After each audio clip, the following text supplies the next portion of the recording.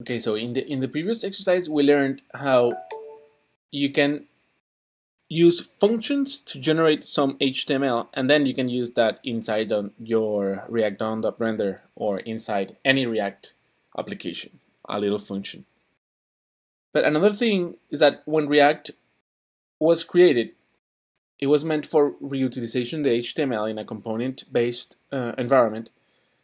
So if it's gonna look like HTML, why typing it like a function? You know, like why typing those parentheses like that? They said, you know what? Let's just type it like a tag, like this.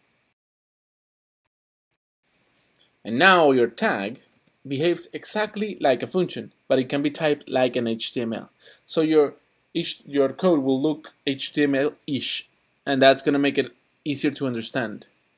But it's just the same function being executed in the background. So don't be uh, deceived by that. It's just a function being executed. It's the same as saying print hello, parenthesis, parenthesis. Like you are calling this function here that returns some HTML. But your syntax is changing because JSX it's allowing you to type it like this, but it will in the background it will execute the function like it was doing it before. So I think the only thing we have to do in this exercise is changing it to behave like a tag. So let's try if that works. Yep, it works.